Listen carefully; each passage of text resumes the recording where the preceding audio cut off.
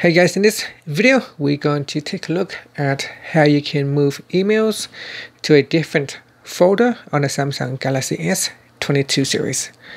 First, let's go back to the home screen by tapping on the home button at the bottom of the screen. And from the home screen, swipe up to go into the app screen and open up the Samsung email. In here, touch and hold on one of the email once you are in selection mode, you can select one or multiple emails, or you can select all of them. And once you have selected the emails, tap on the move button at the bottom.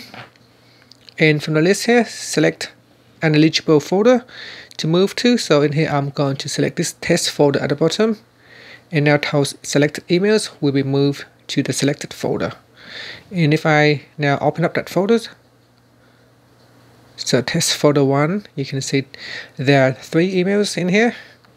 And that's it. I can also move it back to my inbox by tapping on move and then select inbox and it will be moved back to the inbox folder.